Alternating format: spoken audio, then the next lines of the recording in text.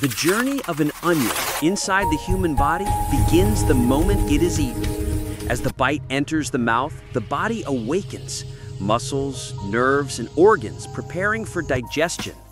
The onion moves downward, and when it reaches the stomach, powerful acids begin breaking it apart, releasing sharp compounds and essential nutrients. As digestion continues, the onion travels into the intestines, where microscopic villi absorb glowing particles of vitamins, antioxidants, and natural sulfur compounds. These nutrients enter the bloodstream like tiny sparks of energy spreading through the entire body. The heart beats stronger, the muscles absorb fresh fuel, and the brain lights up with clearer, sharper neural activity. In the gut, healthy bacteria respond positively, supported by the onion's natural prebiotic fibers.